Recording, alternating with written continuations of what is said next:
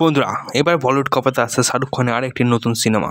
শাহরুখ খানের পাঠান সিনেমার রেস, কাটতে না কাটতেই জওয়ান সিনেমা নিয়ে একেবারে নতুন অবতারের শাহরুখ খান। কিন্তু এখানে আমরা জওয়ান সিনেমার কথা বলব না। এখানে আমরা বলব শাহরুখ খানের আগামী একটি নতুন ছবি, যার নাম ডন থ্রি। দু হাজার ছয় সালে মুক্তি পেয়েছিল এই সিরিজের প্রথম চলচ্চিত্র ডন। পরবর্তীতে দু হাজার এগারো সালে মুক্তি পায় এই সিরিজের দ্বিতীয় ভাগ, ডন টু।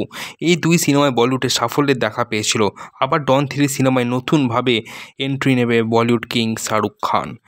ইতিমধ্যে খবর এসেছে যে, ডন থ্রি ছবির চিত্রনাট্য লেখার কাজ ইতিমধ্যে শেষ হয়েছে। অমিতাভ বচ্চনের জনপ্রিয় ছবি ডন মুক্তি পাওয়ার তার দর্শকদের মনে স্থায়ী জায়গা করে নেয়। তারপর এই ছবির নতুন সংস্করণও বানিয়েছিলেন শাহরুখ খান। এবার সামনে এলো ডন থ্রির ছবির খবর। আমির খান থেকে শুরু করে সালমা খান, শাহরুখ খান বড় বড় তারকারা বলিউডকে ছন্দে ফেরাতে ব্যস্ত হয়েছে। যদিও এখনও পাঠানের পর শাহরুখ খানকে দেখা যাচ্ছে জওয়ান ছবিতে, যা মুক্তি পাবে সেভেন্থ সেপ্টেম্বর। এই ছবিটি কি পাঠানের মতো হিট হবে, আপনাদের মতামত অবশ্যই কমেন্টে জানাবেন।